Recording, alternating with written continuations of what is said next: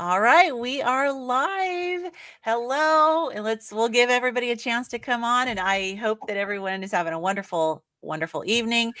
Um I am if you're not aware, I am Lynn. My YouTube channel is Midlife Carnivore and I have a very special guest here tonight and I am excited because this is a fellow Washingtonian carnivore. Woohoo! Yes. She actually found me first Mm-hmm. and I reached out and I just I saw the interview that we posted on you posted on your channel with me and um you know during that interview and getting to kind of get a feel for you I was just like I felt like oh my gosh I love this person Oh, you know you're just such an amazing spirit and such a joy and such a bright light and um, so looking forward to meeting you in person face to face. Now i happen to know that you are 6 Mhm. feet tall Yes. so i'm always the tall one in the crowd because i'm five Okay. eight so i will be happy to have my tall friend meet you but Oh, um yeah so anyways i have been kind of getting to know your story a little bit as i've been watching your channel i want to kind of start off a little bit just by showing your channel and before we get started let me go make sure i got it here there we go okay so this is so Coach Rose AJ Carnivore Girl for Life is Rose's channel. And look at that amazing smile. You've got interviews on your channel. You've got a lot of shorts. You've got people that you're, you know, there's some of these people I don't know. So I think it's really great. Oh, and there's me. yes. Um, you are very, very involved in fitness. You have encouraging videos to help encourage people to overcome any challenges they have. Your goofball, I can see. Yeah. Yeah. So, Mhm. and as we get started, I just wanted to show everybody your channel. So we'll come back Thank you. and uh, revisit it again. Okay. But um, so Rose, I wanted to just kind of give the floor over to you. I wanted to give you an opportunity to maybe just start out sharing your history, Okay. the events that happened in your life, Mhm. and the issues in your diet when you were a child, and how that affected your life, your mental health, and what finally led you to becoming a carnivore because you have been successful with diets in the past. In fact, you were on the Today Show. yes, twice. Okay. Twice. Okay. And I do have video to show. And I think I would like to show uh, what the point in the story where we get there. I'd like to show Okay. probably the first video for sure Okay. and show everybody. And so it's like when I was watching the video, I was like, wow, she was so successful before finding the carnivore diet. So Mhm. I think it's going to be really helpful for people to hear, like, why wasn't that enough? Right. And why did you have to take that extra to go and to the carnivore diet? So the Right. floor is yours. Okay. Hi, everybody. I'm Rose AJ, Carnivore Girl for Life. And I want to start this off by saying thank you, Lynn, my Washingtonian sister. I'm so appreciative of you for taking this time, and I'm honored to be here on your platform. Well, thank you for coming. I'm from Tacoma, Washington, and um, guys, my story totally sucked from birth forward. Um, I was mentally, physically, sexually, and physically abused from the time that I was about three years old all the way until I was uh, almost 18. And most of the abuse occurred by my natural father, so my biological father. So, with that being said, I developed an unhealthy relationship, and I just put quote unquote unhealthy relationship with food from the time that I was three and a half, because those are my earliest memories, Lynn, of Mm, eating petroleum jelly, raw ground beef, dry dog food. And I was also um, abused by cousins and other people that I came into contact with in my younger years. Do you So- know if this is a generational thing in your family?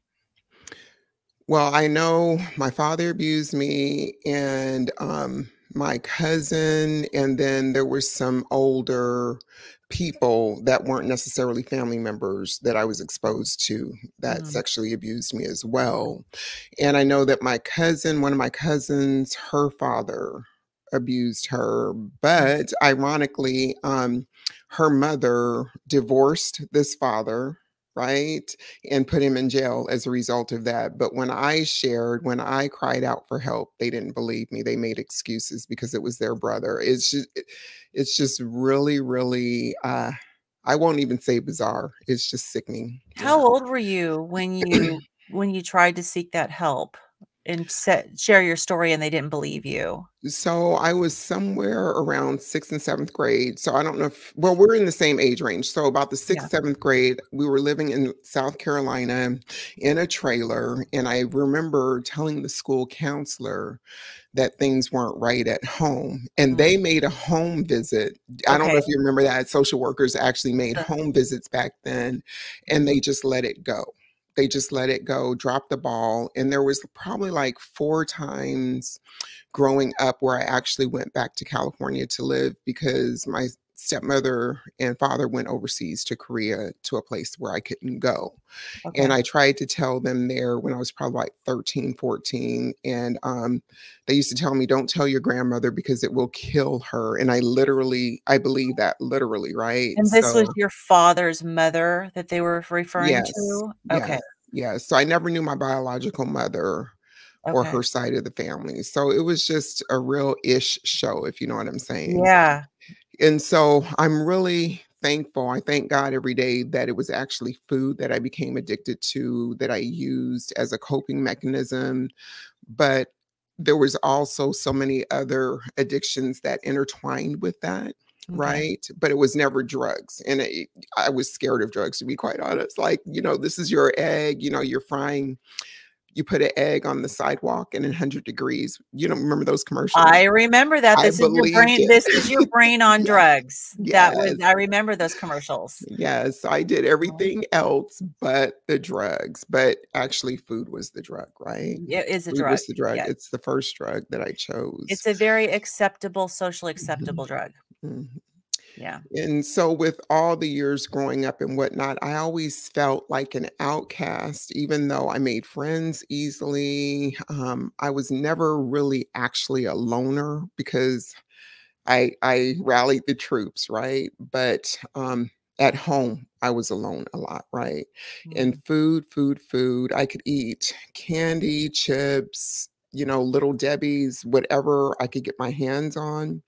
And you know, when you have money to put in church, you're supposed to put it in church. I would run away from church and go buy the Jolly Ranchers, the nickel candies, the penny Mm. candies, and stuff like that. I would steal food in the third grade. I remember there was like peanuts that the school sold, but they never locked the cabinet where they went to stock the peanuts from. Yeah. I would steal from there. I would steal other kids' lunch. It was just crazy, Lynn. So food was my ultimate obsession, and I got through um, uh, through to 18 without any problems, and then I relocated back to Washington because I was looking for a man. I needed a husband to take care Mm. of me, and it was military, right? Military, guaranteed paycheck, guaranteed benefits, the whole nine. So you But joined. You joined the no, military. no, I moved back to Washington with an old high school friend who was Okay. already still living here. She had had a baby. We lived in a studio apartment in downtown Tacoma. I met my husband, and we got married three months later.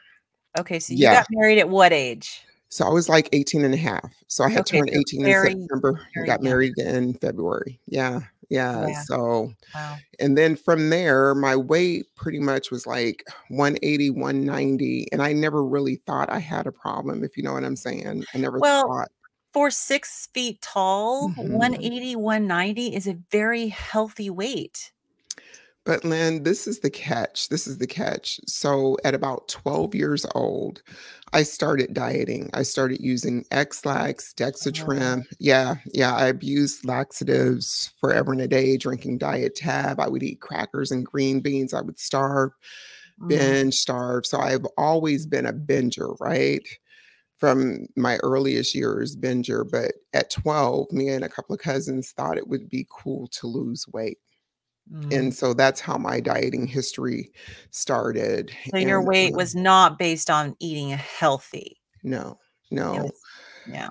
Yeah. So that's that's that's the first 18 years got married and i had my daughter by the time i was 20 so my weight shot up to 300 and no matter oh, what wow. i tried yeah no matter what I tried, it just stayed there. That was the new set point for me. And I would say probably six weeks after I gave birth, Lynn, I went back to using laxatives. I went back mm-hmm. to, you know, the binge starve, da da da da da. Nothing really worked. Nothing yeah. worked. Everything that I did. Binged, was it just binging and yeah. or no purging?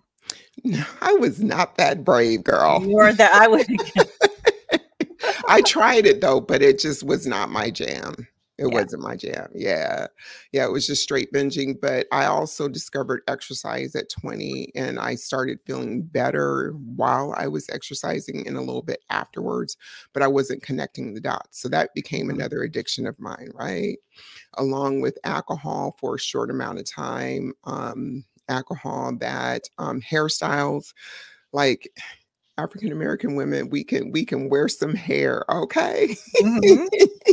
so my hairstyle would change every between weaves and braids and stuff like that. So as soon as a four week mark, I would start getting stressed, getting anxiety. It's time for me to go get my hair done again when there was nothing wrong with my hair. Oh, okay. So there was other compulsions that were going along with that. So Shopping. every four weeks you yeah, needed a new yeah, look. Yes, yes, yes, mm. yes. And shopping, just just everything under the sun. So I probably had about at least eight things going on at the same time, but food remained wow. constant. Yeah. And um yeah, so somewhere in 2002, so in 1996, this is really funny. In 1996, um, I decided to apply to be a corrections officer with King County here in Washington. Mm-hmm. I was 300 pounds, and I knew that I had to pass the PT test, you know, where you run a mile and a half, do so many push ups, the physical agility test. Right girl the salary back then was like 19 an hour. I had never made that much money in my life. I was about to do the. that was a decent thing. amount of money back then. Yes yes. Yeah. so i ran. I made it in the cutoff time. I was like i don't know how i did this but i did it and it was by god's grace got the job and went on but then that started another addiction running. So did you train did, did you train in order to get pass the exam? Mm-mm. It was just, just, my like sheer will and determination. I wanted that life. money. I wanted that money, girl. Yes. Wow. Yes. I, there's no way. Yeah. At 300 pounds, I could any yeah. physical exam. Yeah. So so that started another addiction with running and okay. um and all that good stuff. So it, it's just been a whirlwind do you have some questions for me or you want me to keep running my mouth girl so oh you know what i i'm, I'm interrupting you with my questions no, for sure no and i want so you to interrupt point, me you're at 300 pounds you've passed mm-hmm. the physical exam mm-hmm. to be a mm-hmm. corrections officer so mm-hmm. i'm assuming you got the job yes yes okay yeah and and it sounds like you're going along with all of these coping mechanisms yeah, yeah. and it, it's it's interesting because as I'm listening to all these things, mm-hmm. sometimes in and of itself, none of these things, if they're done in a very healthy way, are a problem. You know, people can shop, people can go get their hair done, people can exercise. It's considered mm-hmm. healthy, you know, mm-hmm. but you were doing it, it sounds like to try to cope with the trauma from your childhood. So I Maybe think partially, part not consciously, but partially because of that, but also for weight, weight maintenance, weight loss, mm-hmm. the whole nine. I just knew that I felt better. Right. And mm-hmm. so I was never given the opportunity to have counseling or work with a mm-hmm. therapist. And I believed in the myths that Black people do not go to therapists, Black mm-hmm. people don't go to psychologists, Black people don't, especially women, when I was growing up. That's what I believed when I heard that, yeah. right? So I'm not speaking for everybody of color, but I grew up with that, that it's a well, stigma to have mental I grew up with stigma. that same mm-hmm. thought process as well. and it wasn't necessarily a racial thing it was just that if you're strong if you're like if you have and with my growing up it was we i grew up in a christian home and it was we went to church and if you have faith and if you pray then you don't need to go to psychologist mm-hmm. you know so that was that was the way i grew up too so i completely understand that you know having that family pressure yeah. you know that it's a weakness to seek help yeah yeah. Mm-hmm. And so when you were 12, I just kind of want to backtrack just a tad. Mm-hmm. What was it just kind of in style that you're you and your friends decided that you wanted to go on this diet or was it that one of you was overweight or what was the impetus for that? So it was two cousins and I was in California living for almost um maybe a year. So I was the oldest, there's a middle, and then there's a younger one. And then there's a younger, younger one that's six years younger than her sister. So we were like the three musketeers, right? So what one did, the other did, and whatnot. Now I have to say that I was really thin, even though I thought I was fat, right? And in mm-hmm. comparison to the other two, we're different heights and weight and whatnot. It's just something that we just did. I don't know. I maybe it was just seeing our aunts do the darn thing, you know, drink wine at night, but not eat during the day and stuff. I don't know where we got it from. So you had some bad role models in your family. Yeah. Yeah. yeah. Okay. Yeah. All Okay, so you're now corrections officer, 300 yeah. pounds. Yep, yep. Large and in charge, girl. I was working it. well, you know, I tell you, being a now, were you in a women's facility or a men's mm. facility? So, um, in the jail system, it's men, women, mentally ill, everybody. You know, if mm-hmm. you're unhealthy, you're there. They have a unit, you know, a healthcare unit. Everything is there. So, okay. I was on Fifth Avenue in downtown Seattle. So, I oh. served. I worked primarily with the women the first 10, 12 years of my career. Mm-hmm. And um, that worked for me. That worked for me. And I think it worked for the county as well. And then I started merging into um, the clinic and working with medical and psych staff and stuff. So, yeah. So it's co ed. Yeah.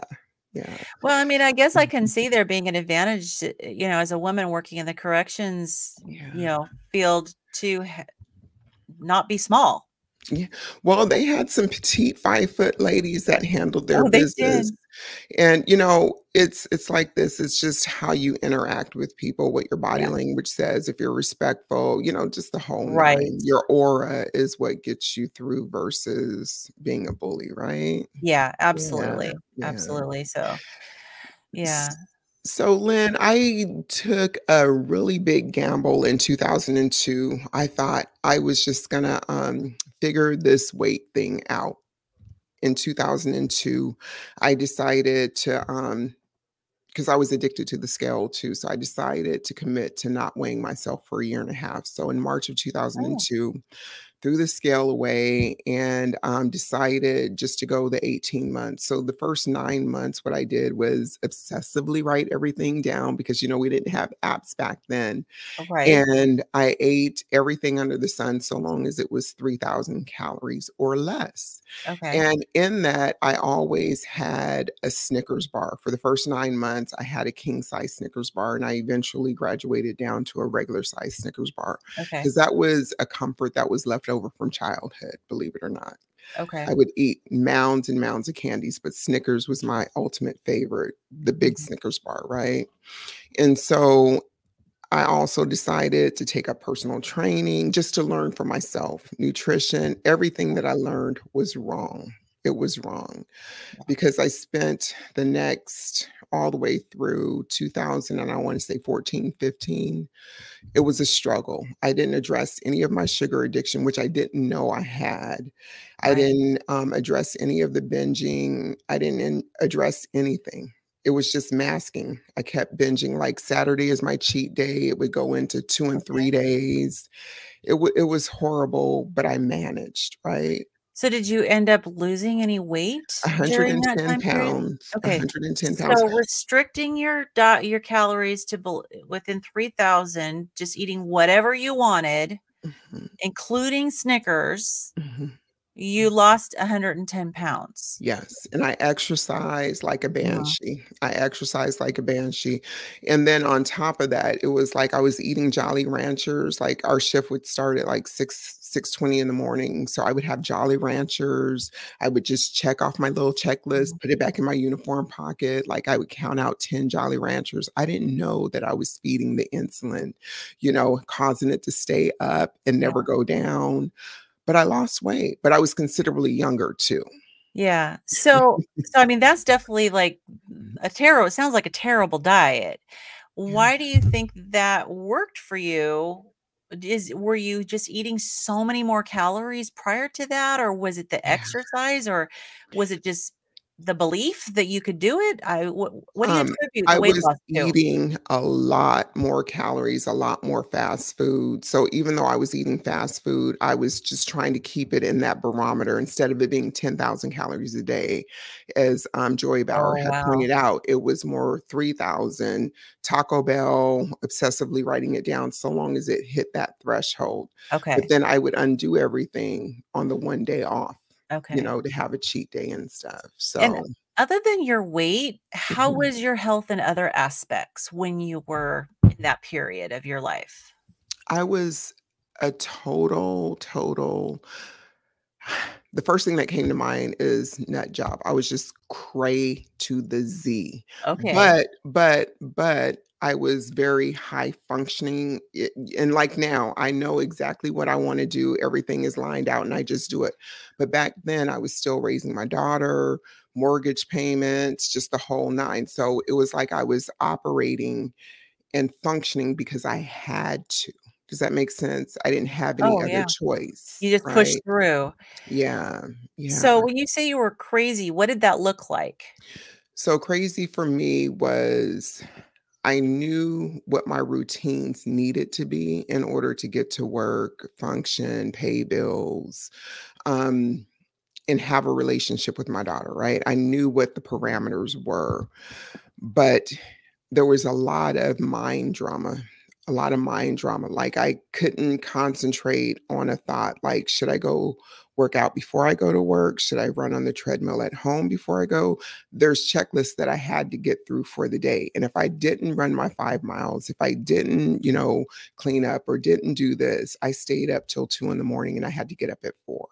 Okay. So, I was just at my wit's end, like I So, said. the obsession Mhm. was The still compulsiveness, compulsive. Yeah, the Yeah, compulsiveness and that yeah. obsession. Mhm, You so you mhm. shifted your obsession to this new way of life, but it was still there. Yeah, yeah. Now, physically, did you have any issues such as, you know, joint joint pain? Did you have gut Mm. issues? Any other particular health issues?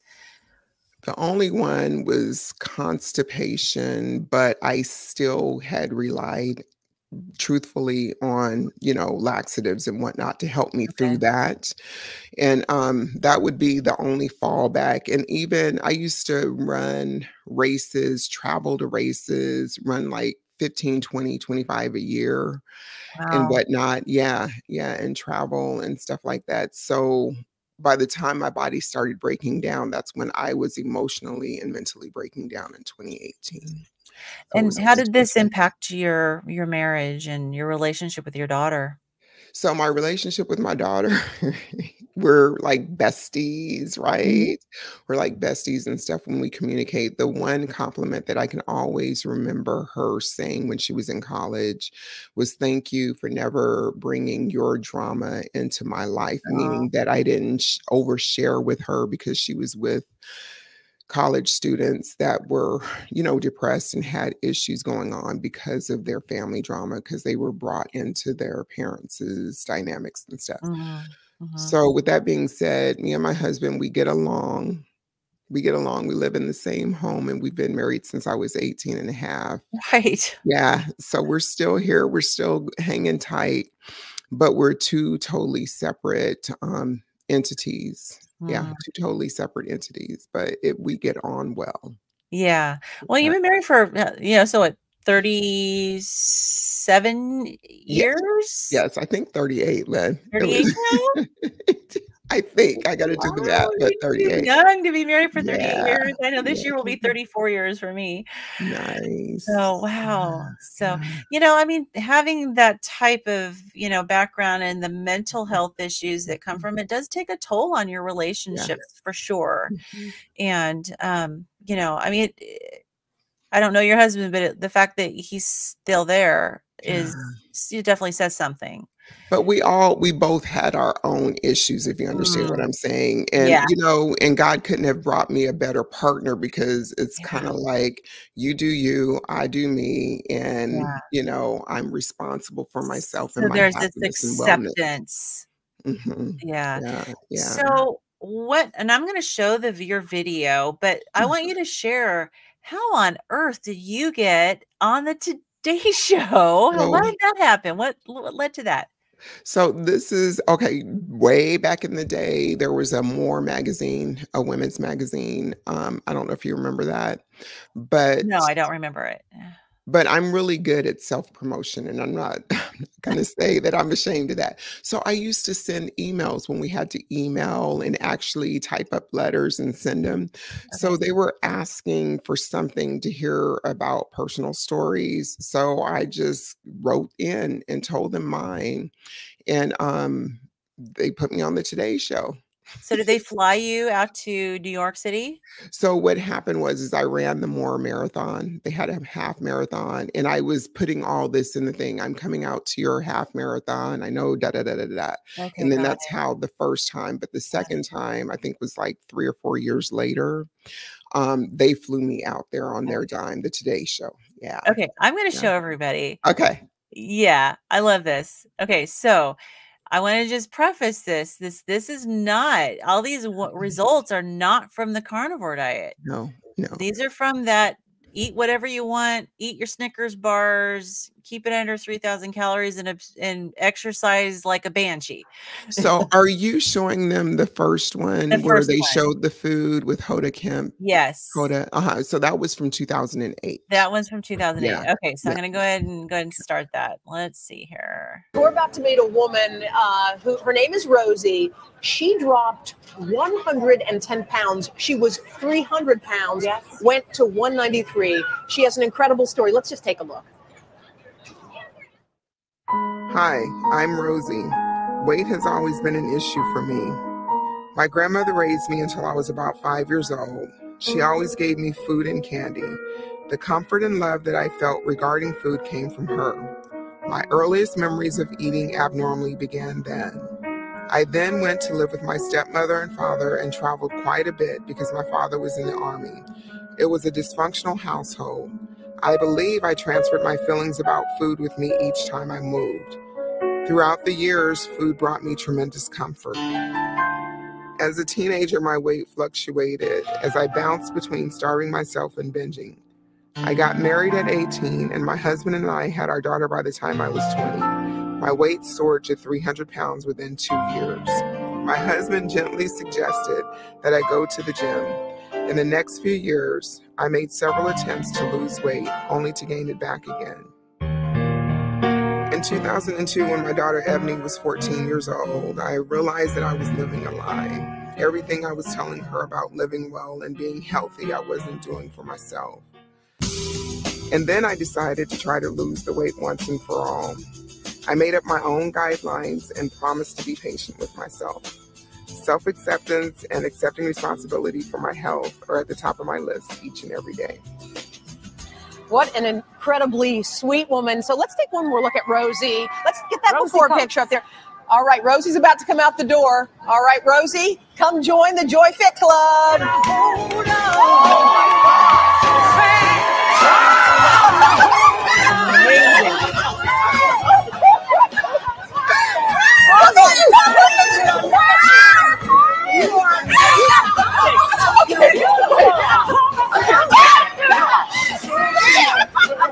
okay. ask you what does it feel like to be so skinny, but girl, I already know what it oh must feel like. You look so good. Thank you. You look in the mirror and go, look at me. I was Yeah, you do? girl. You got that? But you know what I loved about her? It Just reading the note, you had confidence all the way. All the way. She had, when she was heavy, it wasn't like you said, "Oh God, I'm heavy," and you crouched down. No, you, it took you were her a head up. to get to that point to make the start. There was, Right. That confidence was not there initially at all, right? Right. What was your aha moment? When My aha moment was realizing that my daughter was getting older and that I was basically lying to her about how to live a healthy life and to go for what she knew in life. you were so, preaching something you weren't living. right. Yeah. And what, what's the best part about being lighter? Because I always hear people say, like, I don't have heart problems anymore, my knees don't hurt. What's the biggest change you felt? Confidence and Yeah. looking great and wearing clothes that I want to wear each and every day. So, were you heavy all the way when you were a little girl? Yeah. When did you start putting on the weight? um, at about 20 when I when I got pregnant and Uh-huh. had my daughter, and it just compiled from there. But I understand your husband was very gentle about maybe you should go to the gym, honey, after the baby. Nudge, right? nudge. nudge, nudge. And you didn't go to the gym? I didn't go to the gym until he suggested it. Yeah. Joy, yeah. what makes her unique? Like, what's different about about Rosie's story, Joy? Aside from being so lovable, You are so adorable. She is. It's very contagious. Aw. Yeah. Well, I, I think one of the big um, points that I got from Rosie is that she started to lose the weight when she was honest with herself. She was in denial for quite a while, and when she um, you know, became aware of how overweight she was. She just made up her mind she was going to change behaviorally and with the food. And I want to show you some of the food she was eating before. is Come on, let's go. unbelievable. Let's, let's look at what you dined on. This is real. This is from Rosie. She would start her morning with a half a box of Captain Crunch cereal with Yeah. some milk, A whole Yeah. half a a box. whole lot of eggs with some sausage, and four pieces of toast with jam. So that was was breakfast. I can't even imagine the grocery bill you had. I know. Unbelievable. All right. Lunch was four hot dogs with Why not? relish and ketchup. Unbelievable. And then for dinner, she would have things like two oversized beef burgers Mhm. with um, Not the ketchup patties, and huh? no, no, Wow. the high-fat beef with mayonnaise and ketchup and the Mhm. works. A whole lot But of there aren't rice. that many calories in an onion. a lot of chips, Right. a lot of dessert, the ho-hos and hostess. But her big vice yeah, every single day she would have two king-size Snickers Come bars. down here, girl. I Don't try to it. You Come ready here. for this? Come on. Come on. Okay. Okay, At what the is end this? of one year, she totaled 730 king-size Snickers. That's 365,000 Okay, can I ask you one question? worth. If I were to eat this entire basket full, how many pounds would somebody put on by eating all that? In a year, it averaged out to about two pounds per week. That's So more that's- than 100 pounds at the end of the year. So this was the hardest Yeah. thing to give up, And Rosie. It was the hardest thing, but I did it gradually. And what about now? When you see a Snickers, bar, I, I don't do it- Snickers. You don't do I don't do- Snickers. Are you cold turkey on all this stuff, or do you every now Pretty and much, then? yeah. Pretty Yeah? much, yeah. So what do you have for a snack now that's healthy? Snack now is um, a hundred calorie um, pack of popcorn Yeah. or some yogurt. Or I heard you like a Clif Bar, Clif right? Bars a are Clif good. Bar good Mhm. for They're more energy. nutritional. You know what though? She lost the weight eating Snickers because she did know that she couldn't give it up immediately. So instead of the king size, she went to the fun size and she kept it in her Can routine. quickly, what did you eat? Like, what, what? How did you change your diet? Um, the first nine months, it was just basically behavioral. Yeah. And I scaled back on my normal food that I ate. And then the second nine months, I started keeping track of my calories and just eating regular food. And can I just say one other thing this woman did? This is unbelievable. More Magazine had a marathon and half marathon yesterday, and you ran it. What'd you run? And there's another, there's another woman right there. who ran the half marathon. Girl, you got to feel so good. All right. Thank you, Rosie. Fantastic, Joy, thank, Thank you, you. so, Thank so you, much. Joy. And again, if you want to join the Joy Fit Club, go to todayshow.com. I love it. I love it. Girl, oh, hang on. like I a just life. got to turn myself off here. Hold on. Okay, there we go. That seems like such a lifetime ago. So, I mean, I had such a Yeah. fun time watching that when Oh, I thank watched it earlier, and I just had another Mhm. fun time watching it again because there is still so much joy. And so I'm looking at this table of food, Yeah. and it was really interesting because they seemed they seemed like they pointed out, you know, it wasn't a low fat, it was a high fat burger. Like that was a good thing, or like like a, like a high fat was a bad thing, right? Right. And I'm thinking, mm-hmm. I'm looking at all that and going, yeah, the high fat burger was probably the only good thing on that table. Yes. yes. So, but when I watch that, it's like, okay, that looks like a success story. And mm-hmm. it was presented, and they said some fantastic, good points about how you mm-hmm. you took control. You were honest with yourself. You know, it was a good clip that they did, and it was a celebration of some really great positive things changes that you made in your life. Mm-hmm. So why why did you need to change your diet and end up going into the carnivore diet? So we can fast forward to 2018. I was just tired, sick and tired of being sick and tired, man. I had hit rock bottom. I think a mm-hmm. lot of times as humans, we do hit rock bottom and we find a way to pick ourselves back up. But I was close to 50 or 50 in 2018, and I didn't have something to pick me back up. I didn't have my daughter, the, her care, her medical benefits, you know, that kind of thing weighing on me. The mortgage, if it got paid, it got paid. That's where I was thinking, right? And um, my mental health, I wasn't sleeping. Um, I was just functioning, if if that makes sense. I was just functioning, barely above the fray. I And knew are you still working in corrections at this point? Mhm, Okay. mhm. But this is the craziest thing. Um, at that time because I didn't know which way to turn. And then for like a year prior to that, I had been having difficulties with running longer distances, which gave me relief. And there was socialization in that. And there was clout also in the running world. Girl, you did that, you know, that kind of Yeah, stuff, right? Kudos and stuff, accolades.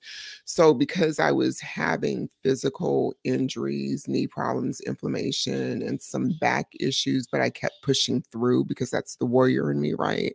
Right.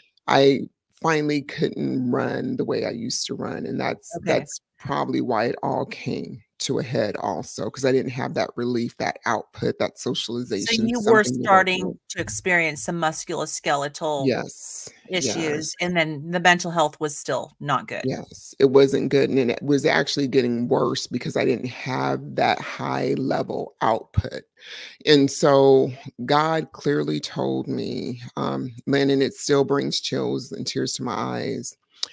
In the clearest voice ever, he said, if I tried to get to retirement, I would not be restored, fully restored to my health if I pushed through because I had seven more years to get to Okay.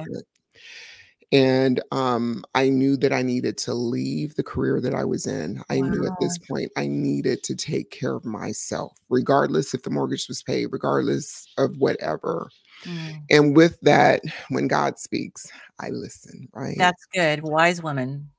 and then also at the same time, my daughter was selling um, ketones, exogenous ketones. Okay. So I simultaneous simultaneously thought, oh, this could be my last chance, my last ditch effort. I could buy these ketones. I'm going to support her, right? I'm going to support her business, but I'm also going to lose all this weight and not have to change anything that I'm eating. I Mm, spent thousands of dollars trying to figure that part of it out, just like Shakeology, just like Weight Watchers, and all these other diets that I was on. I started learning about intermittent fasting and the ketogenic diet. Now, Lynn, it took me six months to make the effort outside of the exogenous ketones. I was getting smart by then. and on December 2nd, 2018, I took a leap and I said, I'm going to do the ketogenic diet because I had Okay. enough information and intermittent fasting simultaneously. And when you were just doing the exogenous ketones, were you seeing benefits from that? Girl, no, because I was eating Okay. garbage, garbage, garbage. I was still eating the standard So it was diet. hopefully going to be a pill that would Yes. counteract. Yes. Yes. Kind of like was- I used to tell myself that a Diet Coke would would counteract the cake. would cancel each other out. Right. You know? Yeah. So that was exactly my Never thought did. Process. figure. And you know, this is the funniest thing. You, I, and the next person, we are the brightest, most intelligent people in most rooms that we go into, right? I mean, just think of it like that. We know what's going on. But when it comes to our weight, when it comes to our health, we struggle with it, right? And I didn't know why it was so hard for me to get this one thing right permanently when I got And- everything else right. And that's where I have always taken issue with people who make the claim that those who Mhm. struggle with their weight are just lazy No, and they're Mhm. undisciplined because that is absolutely not true because like what you just said you know you had control over you mean you're successful in your career you're a very intelligent woman you know i was as well you know i had two bachelor's degrees i had a first career as a corporate accountant a second career as a Mhm. nurse and my bachelor's in nursing you know raised special needs kids that we adopted you know it's like function was everywhere except for with my own health and my own Right. and the weight and the my food addiction. Mhm, So I mhm. totally understand what you're saying, and I think Mhm. that I, I if the world would start to understand that it's not a lack of willpower. Mm-mm. We have more willpower than most people, and we know more nutritional stuff than most people because we've been working so hard at it for so long, right? And we have been testing out everything that they tell us is going to work. Mhm, mhm. you Move more, eat less, yada, yada, yada. Yep, got you. So when I started on that, I did everything wrong. When I say wrong, I mean completely wrong. Um, I was still trying to um, make foods, Lynn, that resembled the standard American diet that I loved. And I Mhm. kept falling off the wagon, so to speak, Yeah. right? I didn't understand about my food addiction at that point. I didn't understand about sugar and carb addiction at that point. But here's what I did I started taking a lot of certifications, a lot of courses, because I needed to learn what really is intermittent fasting, what is the ketogenic diet. So I did that um, December through December. And then it was in 2020, January 2020, that I decided to give carnivore a try. And now, Lynn, Lynn, carnivore was smooth sailing. I had no problems, no problems. But this is the deal. I think it was Easter. I decided to take off, you know, the holidays, a special day. Oh, I'm going to make an exception. But that exception led into a three, four day binge before I came back to Mm. carnivore. So I repeated that cycle for about six times. And I also got certified through Bitten Jonsson. Um, you know, with sugar, um, the sugar uh, tool, where um, it's an in depth interview. So, I mean, it looks at your whole history. When did you start eating in this capacity? Okay. You know, Bitten Jonsson, I right? I don't, but I have I Oh. was introduced through your video. yeah.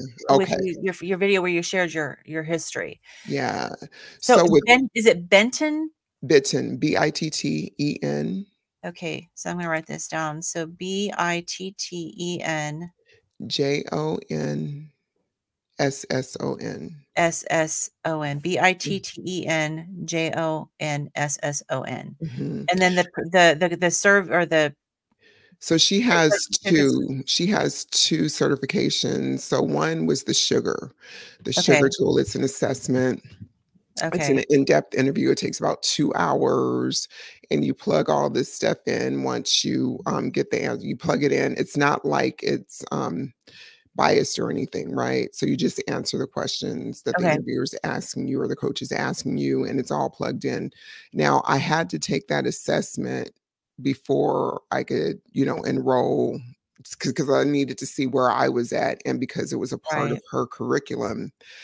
Now, even though I took that, I was still in denial. I was still in denial. I hit everything, every every marker on there. I hit it and hit it, and I was still in denial. So But is that the assessment that showed that your addiction started when you were yes, three at yes, the latest? mhm, at the And earliest, at- yeah. And you were still not convinced that there was a problem.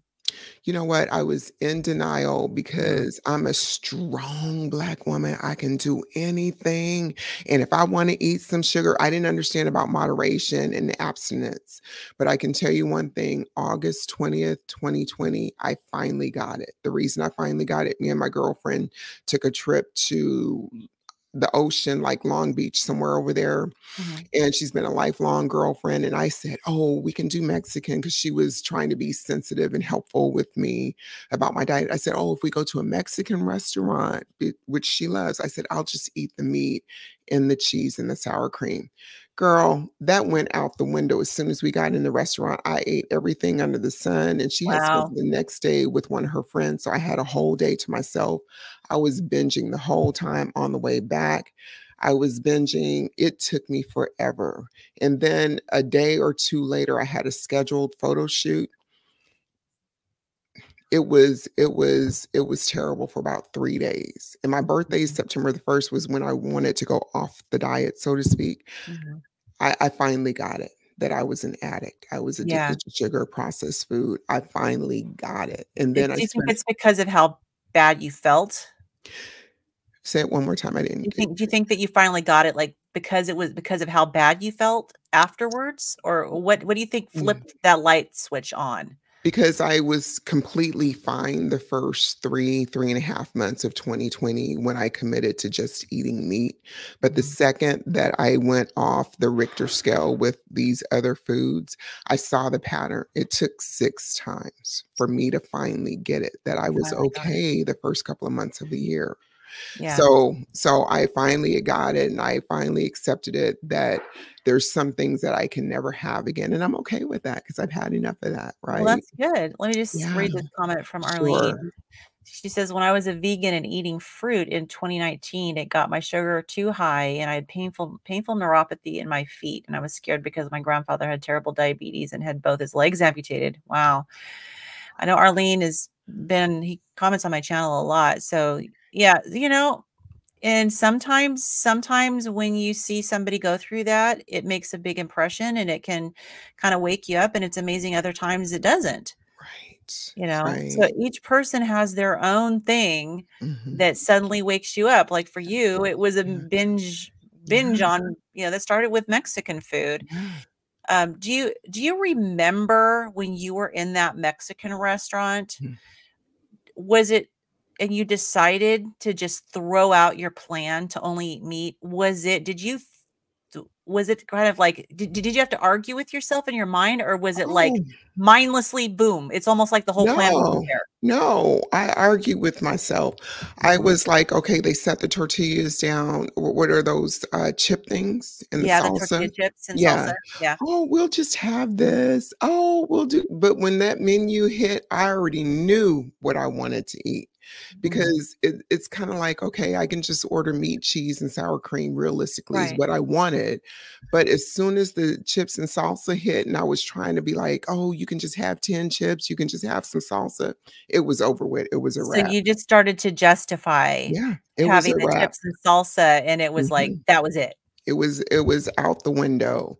yeah And you know, I felt bad. I used to go to bed back in the day because of my trauma. I would actually eat platefuls of food in bed and fall Mhm. asleep and still be eating, if that makes sense. Mhm. Right. So even after eating all that food, we went to the hotel. I laid down, no problem. She went to go visit her friend. I was out looking for my drugs.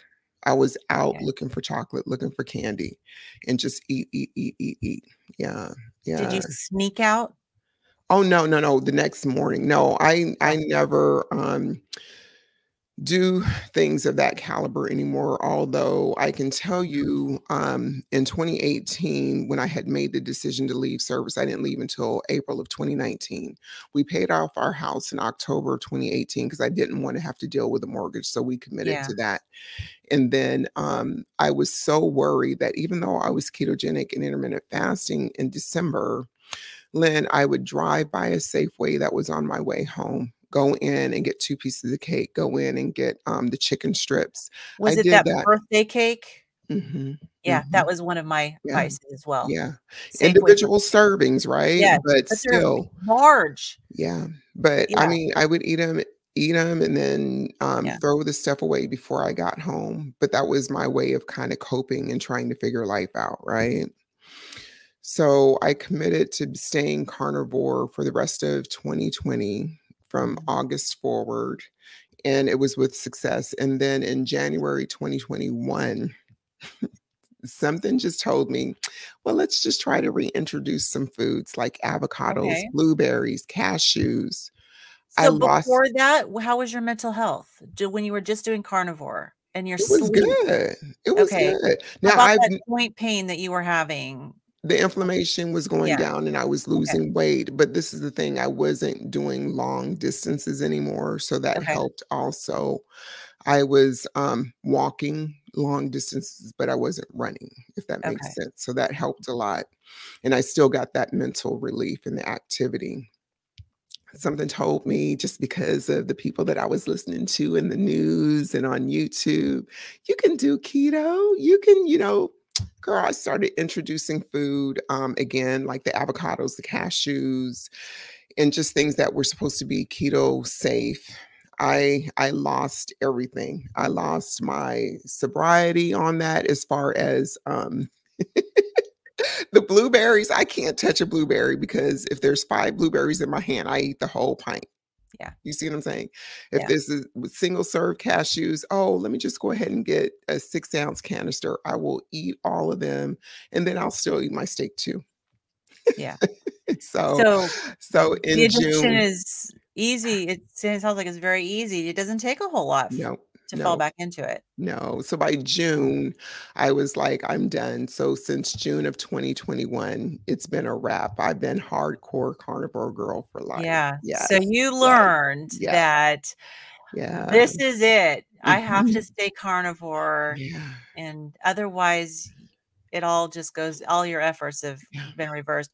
So we have a question here. Sure. Um, okay, so Ingrid and Carlos. So, so hi, ladies. Thanks for this live. You're welcome. Glad you're here. Do any of you do two meals a day or OMAD? Any fasting? If so, what benefits have you seen with weight loss? So I'll let you field that question Okay. first. She looks like she's asking both of us, but I'll let Yeah. you go ahead and field that one first. So this is the deal. When I started um, the ketogenic diet and intermittent fasting in December 2018, I tried to do the two or three meals a day within a 12 hour window, but I really quickly found out that that, that wasn't going to work for me because I'm a volume eater. So within a couple of weeks, I committed to OMAD, and that has worked splendidly for me since. So I only eat one meal a day. I like um, just being able to cook my burgers or whatever I'm cooking, eat till till I'm satiated, wash the dishes, and I'm done. But um, two or three meals would never work for me. So do you do so obviously you do the intermittent fasting because that's just Yes. inherent in doing OMAD. Do you ever Yeah. do any longer fasts? Okay, I did one fast that was 36 hours, and it was the worst fast of my life because it wasn't because it was painful, I couldn't do it, but I was obsessing about food. I'm a person who Oh, really needs to eat every day. So I don't, I'm, uh, I eat one meal a day, 22 hours or longer. So somewhere between 22 hours and 28 hours. And my window is generally about three o'clock during the week and one o'clock during the summer hours when I'm not working. Okay. So that's I mean, but that's good. You did that and you Mhm. learned something about yourself. And I really truly believe that we all need to figure out what works for us individually. You know, there's I don't think there's really a playbook. We have to Mhm. figure it out and we have to, you know, because I so for myself, I'm kind of the opposite of you. I'm actually a very light eater. I have Oh. trouble eating a large volume of food at one time. Mm. And but I also don't get hungry. And so for me, I have periods of time where I'm OMAD.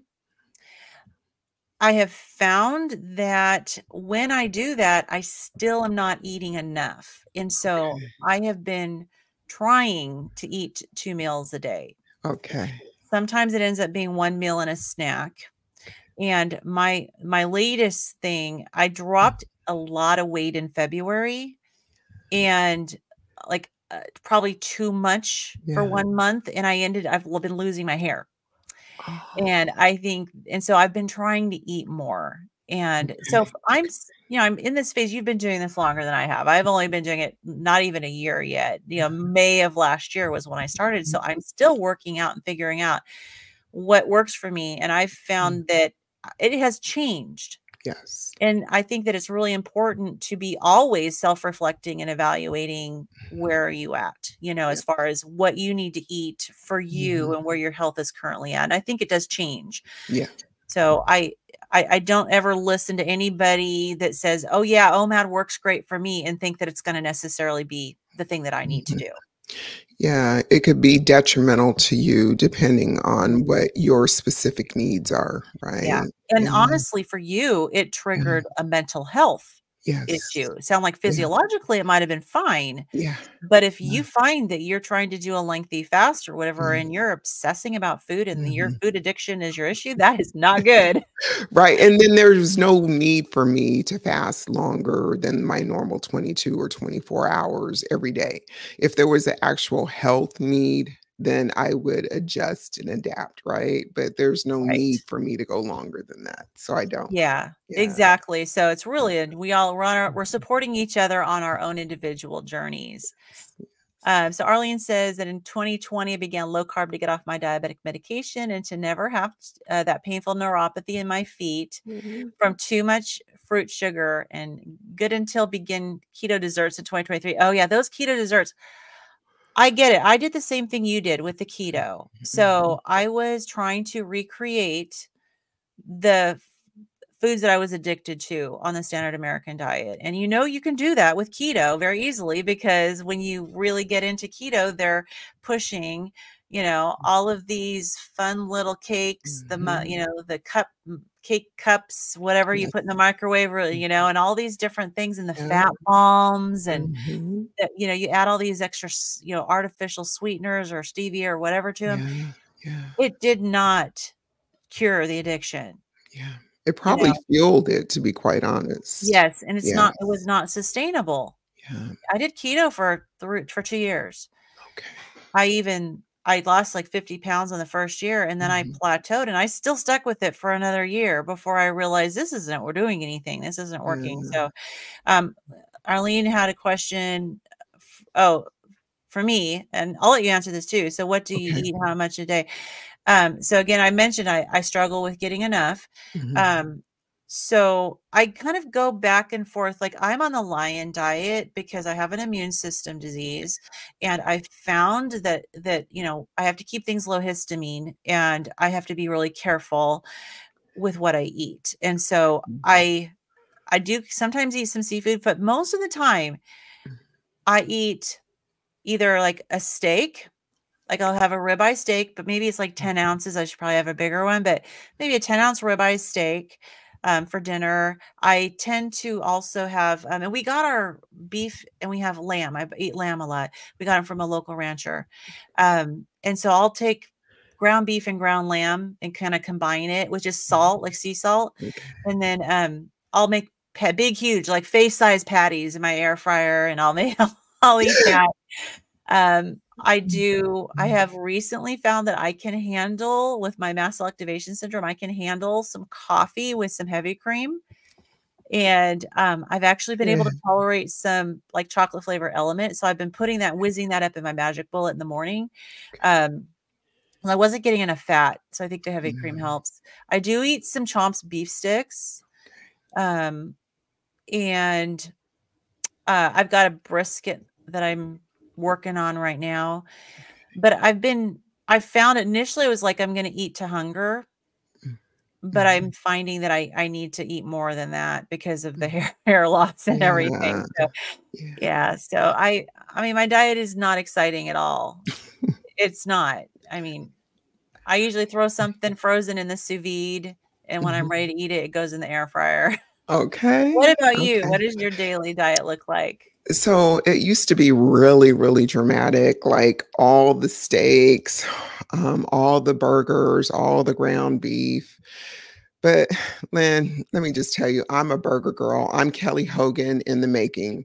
Yeah. If you give me four hamburger patties, and I'm on a cheese kick right now, four hamburger patties with one slice of cheese on one of them, and then maybe six to eight or 10 eggs, depending on how I'm feeling, with a slice of cheese, I am golden. So I can eat four hamburger patties, a couple of slices of cheese, and anywhere between six and 10 eggs. I'm done. It's a wrap. So that's and that's one meal. Yeah, one meal, Yeah, one yeah. meal. Well, And then if I'm feeling the really fancy, really fancy, I'll drop one of the patties and have some pork rinds.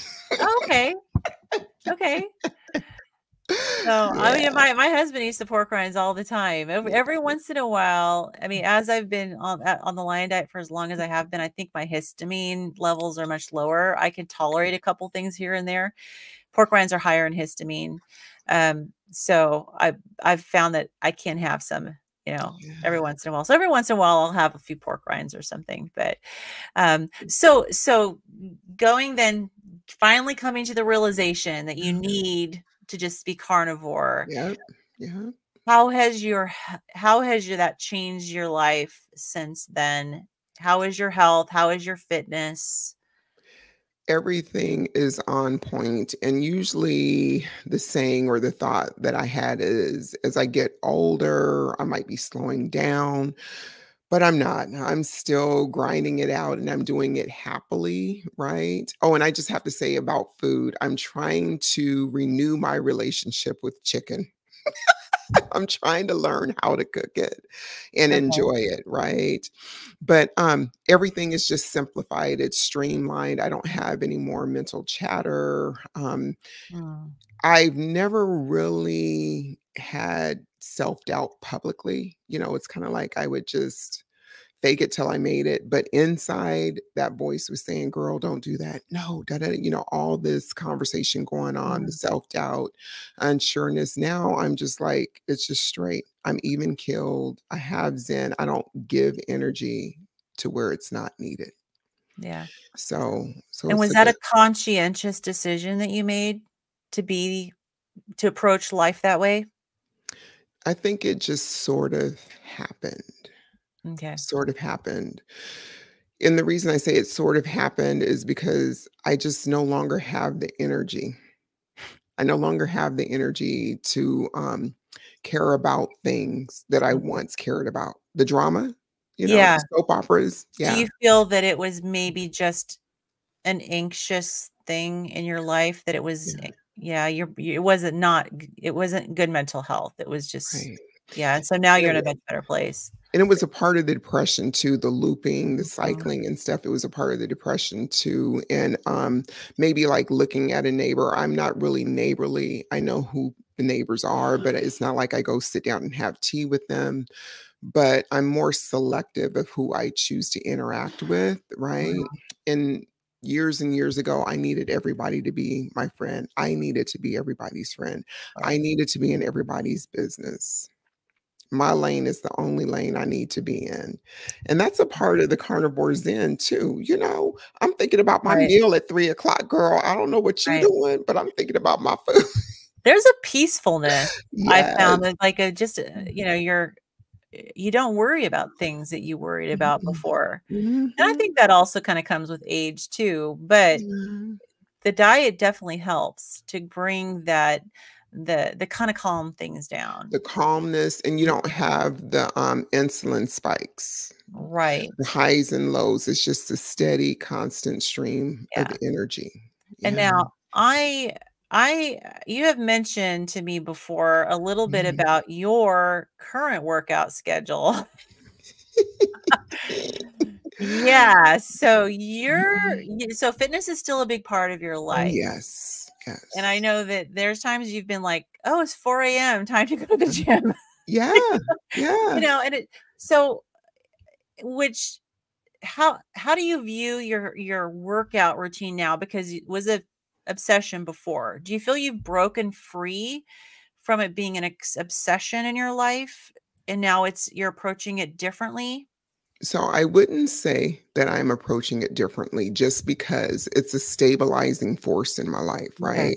So like some people have their mothers that they rely on or, you know, whatever is their foundation. So exercise and coffee is my foundation along with diet for my mental wellness along with okay. physical wellness but there was a phase um, maybe for about a year where i couldn't work out as hard as i'd like to so i don't want people to think that they have to exercise in order to lose weight because i still made progress right. i still made progress and um, it's just something that I love to do. So now I'm on a cycle because I'm training for Tough Mudder in um, August. In August, but this is the thing: it's going to be full disclosure.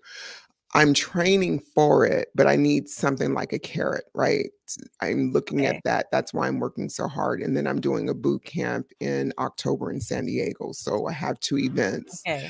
You want to explain what Tough Mudder is for those people so who don't Tough know? Mudder, you can do, I think they have like a three to five mile obstacle course. And then they also have one that's a 10 mile. And then they have some other ones that are endurance 12 hours or longer. But all they are obstacle courses. Like you got to, you know, climb a rope, get over a wall, go through like crawling in mud under barbed wire. But now this is between me and you and the rest of the world Mhm. It doesn't matter what the obstacles are. The only thing that matters is that this black girl shows up at the start line, looks super cute, gets her photos, and does one obstacle. Okay. Okay. So if there's 10 on my course, I'm going to walk around the ones. I'm not trying to break my neck. I'm trying to You be have a cute. Realist. Okay, so you're gonna Right. I'm trying to be cute. you're gonna show up and you're gonna make a make an appearance and make an impression and look good Yes, and Yes. okay. And so long as I do one, those are my rules, right? I don't care what Tough Mudder says. I paid the entrance fee and I'm walking around all those obstacles. I would that's what I would do. Like oh, seriously. yeah, that makes me tempted to join it because it's like I can do that. Right, right. Where I just want to um it's going to be in Black Diamond, so that's like in the Auburn area. Oh yeah. It's Yeah, going to be in in Washington. Auburn. It's in Yeah, Washington. So that yeah, that's actually within a driving distance for me. Yeah. I don't know. That's a little bit tempting. I never thought that I would ever even think about doing something like that. But if it's like, okay, do one obstacle and then walk around the rest, I could probably do that. Shoot, shoot, I will tell everybody and their mother I'm not doing that because I used I did a couple of mud runs in the past, and I was like, mm-mm, mm-mm. But ma'am, but ma'am, my my assets, I'm walking. Yeah, yeah, exactly. So Exactly. yeah, I'm looking forward So to it. Yeah, Mhm. that sounds awesome. So um, okay, so you're doing great. So I would have one last question. Yes. I'm gonna show your channel again. So your in your channel is you know Coach Rose AJ, Carnivore Girl for Life. Where does the coach come from? So the coach comes from um okay, so like you know Beachbody way back in the day, I wanted to be a Beachbody coach, but I couldn't get my body to look like it belonged at the beach, but it- you just sign up for it and you're a coach, right? So my obsession with coaching came from that, right? Okay. And so I am certi- a certified coach in a lot of different capacities, but the one that I carry at the forefront is the Primal Health Institute Mhm. because that is most in alignment with the way I choose to live and serve. So I'm actually certified as a coach, and I do have Excellent. my recent one from um, HCI. It's a dual certification that I got in January. And then the Carnivore Girl for Life is obvious. Carnivore Girl for Life. So if somebody wants to reach out to you for Mhm. coaching, Mhm. what should they do? they can always email me it's on there on on my um bio or wherever on um youtube and um, most of the time lynn it's just a gentle conversation that people need to have right Okay. it's just a gentle conversation so it's coach rose aj or um, Okay. you can go to my go. website Got it right here.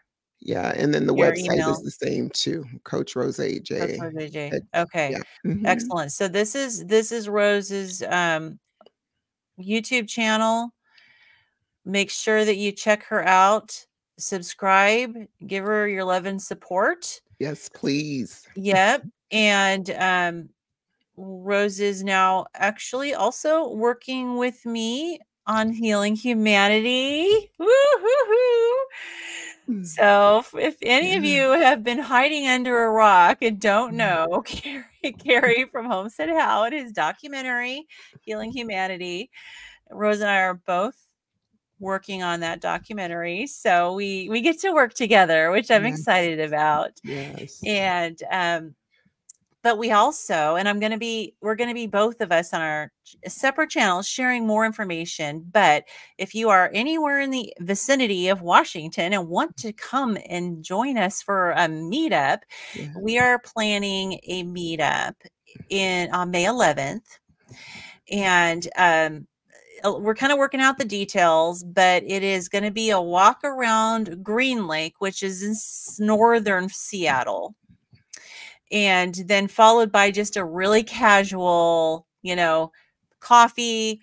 We uh, we we were talking about this ahead of time. We decided we're not going to go out for a meal because not mm. everybody can afford it, and and a lot of times the restaurants, for for me in particular, have inflammatory food. So bring your mm. bring your beef sticks and bring your whatever you snack on and your you know your cheese or whatever. eh, But plan on coming and you know hanging out, have some coffee or you know or tea or whatever, water. and We're just going to be a social time, a time to get to know each other, and um. Yeah, it's going to be fun. We'll provide more information as the day approaches. So great, mm-hmm. Arlene, sub to your channel. Oh, awesome. Thank you. Thank Carnivore you. Day. Well, Yeah. hello. Hola. Adam. Good to see you. So we love mm-hmm. Adam. Adam's one of our fearless leaders on healing Humanity. So, um, anyways, well, good. Well, listen, I know we've got. I've kept you. I've kept you a while. Mm.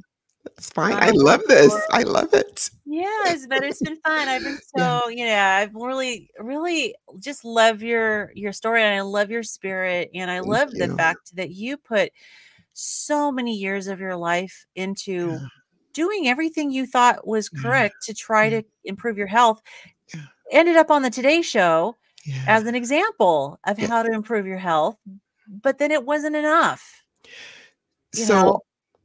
There's one thing I didn't mean to cut you off, Lynn, but No there's worries. one thing that I want to interject here. Um, why this is so important for me. You know, I can always say that um, I want to show up to be a role model, to be an example of what is possible, right? But there's been other women in history that have done it, starting with Joan of Arc, right? And Cleopatra that have done it before us that we can fall back and look on. But what I didn't share, and I it was an oversight on my part, when I left service, I was trying to figure out how I was going to make it financially, right, for myself, because that wasn't a part of our agreement being married. Um, you just quit because, but I Mhm. needed to quit and work on myself and my mental health to the extreme that I made the decision to cash in my retirement. I cashed in my financial future in order to save my health and my mental wellness today. Wow. And I don't want another woman that is going through or that's addicted to sugar that just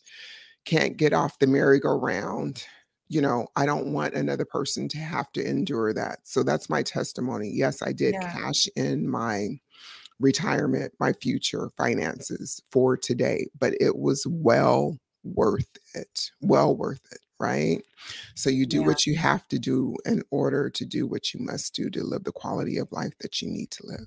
Yeah. And that must have Mhm. been, I mean, was that scary at all when you did that? Or did you just have a lot of confidence that that was the right thing to do? Well, it it was the right thing to do because there's a certain level of living that I like to do. And we're not guaranteed tomorrow, right? Yeah. But if I don't invest in myself today and take the time out that I need, I can't and I won't have a future, yeah. right?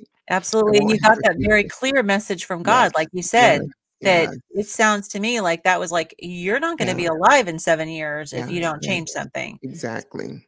Yeah. So yeah. But anyway, so that's the one part that I forgot to share. So thank you. Yes.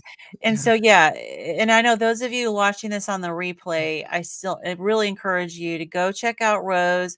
Your videos are so encouraging. They always put a smile on my face. You know, you know, and and if you need if you need coaching, you need encouraging, Mhm. reach out to Rose. And, you know, I I can attest that she is a bright light. And I really do want you to have a presence in the carnivore community that is continually growing as people get to know you. And I, I do believe that that's going to happen because, you know, I think you you draw people to you. Yeah, thank you. So- I'm here to stay. I'm here to stay. Yes, excellent, excellent. And I'm just really looking forward to meeting you in person. Thank So, you. okay, well, thank Okay. you guys for being here. Really appreciate you hanging in here with us. And uh, I'm good. We're going to go ahead and sign off. I hope Okay. everyone's having a wonderful evening. Yeah, we're going to